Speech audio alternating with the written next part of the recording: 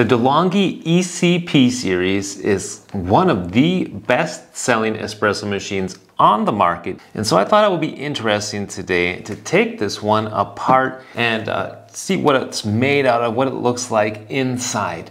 And really for two reasons. One is because this is a European model and on the switch here on the side, it turns off after 10 minutes. So I wonder if there's anything that can be done about that. And number two, for some reason, on the European website, DeLonghi calls this a thermoblock machine. And I know it's a boiler, or I think it's a boiler. So let's open it up and just take a look. This video might also be helpful for you if you need to dismantle your machine to, for example, put on a different steam wand or to fix something like the pump or the overpressure valve. So let's just take a look how to take this machine apart.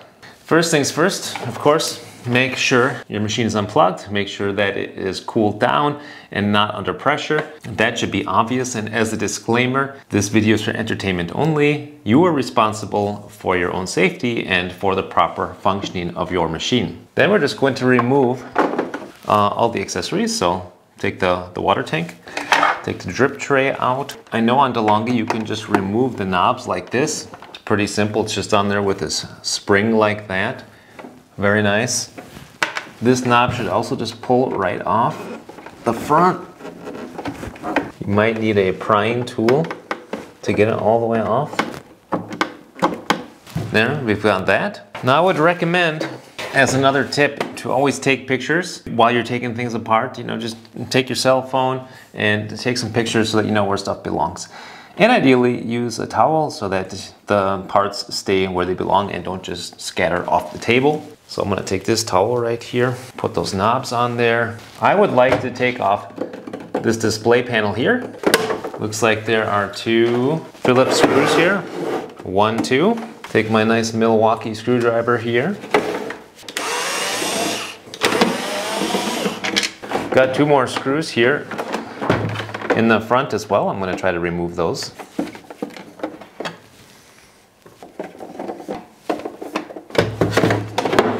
All right, I'm, I'm a little stumped as to how to get this panel off for now. Let's move on to the bottom. So DeLonghi has got these safety screws on the bottom. It's got, it's like a star pattern with uh, a knob in the middle. And I'm just going to unscrew the bottom and take a look.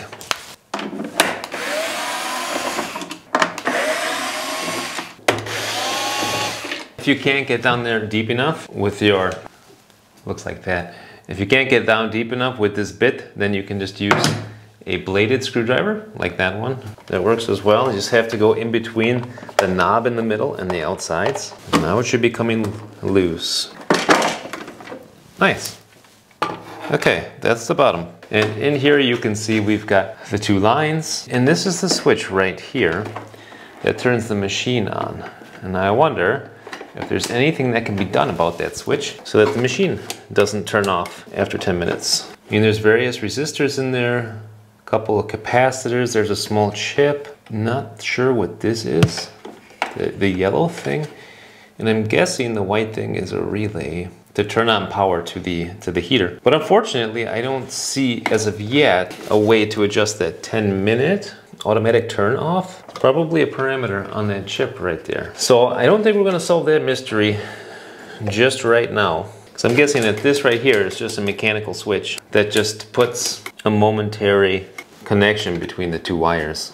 I'm gonna take my multimeter here and just put it to continuity. And that way when these two things touch, makes a beep. So I'm guessing what's going to happen is that when you've hit this button, there's just continuity in between. Yeah. That's just a mechanical switch, which means we would have, uh, have to adjust something on the board to not allow that to, to go off after 10 minutes. Or maybe if you just keep the continuity the whole time, then you might also be good to go. But I think that does not uh, go in accordance to the European norms. So, you know, like I said, this is for entertainment purposes only. By the way guys, if this video has been helpful to you at all, please give it a like. And if you would like to get more information on machines like this one, then consider subscribing to the channel. Let's see if we can get this top part off. I got those two screws out. What do I need to do next? Where is it stuck? Oftentimes these things are just held in with clips, but I think that there's a screw in there somewhere yet. Because here it's being held in yet. This is a separate piece here. So, can I just take this off? Trying to locate a screw. There's some clips right here too. Could that be? Okay, so I got that part off. Still seems like it's being held on somewhere. How am I going to get this top part off? All right, part two, here we go. So after watching a YouTube video, I realized all I have to do is pop this part out up here. There's a couple of clips, one here, one here, and this needs to be pried up and out of the way. And I don't like doing that with metal so much because I don't want to, I obviously don't want to scratch anything. So if you've got a different tool, like a plastic one, I would suggest you use that. But now I've got this pried up and out of the way. Lo and behold, here you can see the boiler, which is cool. It's an actual boiler. We're gonna take a closer look in just a moment here. Let's get the, the top part of the casing off. This is fun. I get a kick out of taking stuff apart. And if you ever get stuck, just look at YouTube. That's what I do. Part of the reason why I started this channel in the first place, is because it's fun to share what you know. And if I don't know, somebody else probably does. All right, here we go. Very nice. I could have probably left the selector switch connected, but that's okay. Let's just set this off to the side. Here you, you see you got two indicator lights. Uh, the, the red one for heating, and I believe the white one is just on. So that's, oops, and what do we see in here? That's the interesting part. Okay, we've got some cable ties on here, so visibility is not perfect, but let's just do our best. Um, this is the overpressure valve, and it's going up here around the top of the boiler and into the boiler. And the connection is held on with a brass fitting and with this clip here, this metal clip. And here you can see this is how the steam wand is attached. So that's pretty pretty accessible at this point. If you want to switch out the steam wand, at this point all you have to do is remove these bolts to get the boiler out of the way. And once you remove the boiler, then you should have access to this little ball joint here where the steam wand is mounted. And then you can remove the steam wand and put in a new one. Maybe we'll do that in a future video. Let me know if you would be interested. The, the main thing that I wanted to see today is what exactly is the heating element? And yes, it is a little stainless steel boiler. Let's see if we can get the, the boiler out of there. Boiler screw. Boiler screw. You can see they're different lengths, so we've got to keep track of what goes where. Two long ones in the back and two short ones in the front. Ah, there's one more screw right there. A long one by the one. So now, can take that sucker right up out of there. Uh-huh, there's my needle, needle nose. Let's just detach it up here. Get that over the hump. Sometimes these are hard to get off. Uh, that one was easy, but just to have a little patience. You may have to pry it like so with little screwdriver. Probably have to undo these lines here and there's still a little water in there so that's that's not ideal. That one goes on the right the clear one. That one goes on the left. That's important because one of these is for for feeding the boiler and the other one is is for coming off the overpressure valve. So now I should be able to just pull it up and out of there I still got some wires attached, right? Well, gone this far, no turning back now.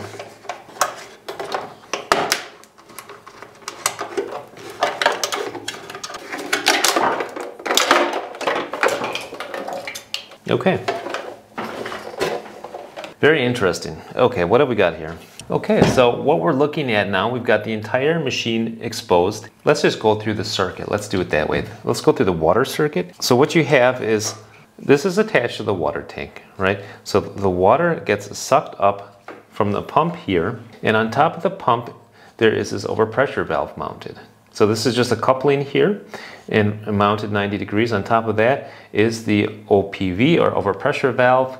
DeLonghi also calls this an anti-drip valve or safety valve. Really what it does is if it would fail, it would put the water here back into the tank. Normally, in the normal case, the water does not go back into the tank, but if this is broken, you will start to see bubbles coming up in the tank. So that's what this is for here. It's basically a safety valve.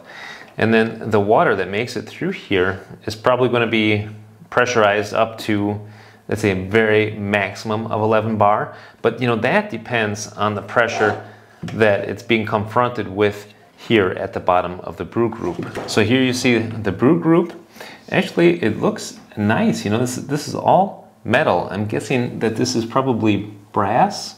It's most likely like a, a, a chromed brass or something. But yeah, it's pretty heavy duty. And on top of it sits the stainless steel boiler. Anyway, what I was saying is this pressurized water is coming up into here and it's filling the boiler. At that point, the pressure is low. Once the boiler is full, then it tries to exit here out of the brew group. And even there, there is some pressure because Inside, there we go. It's just kind of sucked onto there. So this right here is the shower screen. And underneath the shower screen, there is another valve. So it's a spring valve and the pressure within the boiler has got to be enough to overcome the spring pressure here. So this is the little spring valve that we're working with here. All right, at this point, the water would just empty out of the boiler if you didn't have that valve. So we need that. And the, the pressure inside the boiler, first of all, got to overcome this. And when it overcomes that pressure, then it's got to overcome the pressure of the coffee puck that's in the portafilter. And so that's where you're going to be anywhere between, let's say, 5 bar if you didn't pack a very finely ground uh, coffee puck, or up to 11 bar if you pack it too tight. The maximum, however, that I've measured in this machine is 11 bar. This right here is the valve that opens up the, the valve. Oh, oh, oh, oh, oh, oh, that's interesting. this opens up the valve on the side for hot water or for steam. I think it just it just opened up a, a, path. There must have been a vacuum in here before and that's why the water hadn't poured out yet. But yeah, it must have opened up a path for the water to flow out. Let's just let that water out one time.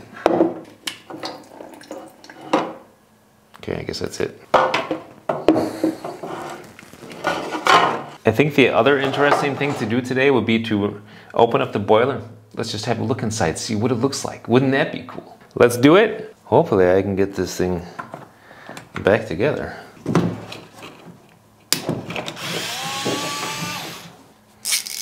Oh, it's not 10. What is it, 8? 8 millimeters. Okay nut and bolt.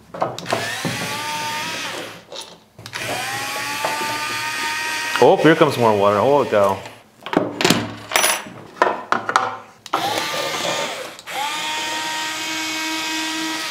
All right. But I think the mess is going to be worth it because now, look at that. Ooh, it's not even full scale. Huh. That looks cool. Oh no, here's scale. Oh my gosh, look at that. What the heck is that? There's like, there's like sand in there. Are you kidding me, dude? Wow. Oh, okay, that's the brew group right there. That's crazy. Right there, you can see that there's, it looks like sand in there. What the heck? I descaled this recently, and, and you can see there's actually no scale here on, on the elements. But in the bottom, there's like this sand stuff. Must be mineral deposits. That is weird. So we've got that. Here, we, hopefully I get it back in there, right? Should really mark stuff. So let's just mark this. This right here is the brew group. It's actually light. It's not brass like I was thinking. This has got to be aluminum because it feels very light. There right there is what uh, the lock-in part of the brew group looks like. Very cool. And this right here is the bottom part of the boiler. Yeah, with that sand in it. And this is uh, the bottom part of the brew group where your portafilter goes. But of course you've got this valve that goes in there. The valve gets closed in like that. And then you've got the shower screen. It goes on top just like that. And then your portafilter comes on and gets screwed in. Pretty cool to see it. So, as I said, I descaled this, but it's in dire need of some more cleaning. I'm gonna clean this out. And this right here is the heating element. That's very, very interesting. On the back of the machine, it says it's got, uh, or on the bottom, 1100 watts, which is about the same as the Lelit Grace that I've been looking at. That has 1050 watts. And the Lelit Grace has a 250 milliliter boiler. This has only got a, I'm guessing, 150 milliliter boiler. So we got this little cup here, and then we got the top part, but the top part can't fit very much water in it. I don't think so. Because you got this heating element here taking up most of the space. So I went ahead and I, I cleaned the boiler out because it was gross. Also this gasket, look how big that gasket is. The gasket was pretty gross too, and, and so was this part. I still have a little cleaning to do. But what I wanna do here is just see how much this holds. So I've got this container filled up with 150 milliliters of water. It's about six ounces. And uh, that seems to be just what it takes. Yep. So 150 milliliter boiler. I hope that this video was helpful for you guys, and if so, please give it a like, check out my other videos. If you like what you see, subscribe to the channel, it's totally free. And write, write your questions down. If you got questions about this dismantling or anything else, let me know. Till next time, I say happy coffee drinking and happy machine dismantling. Bye now.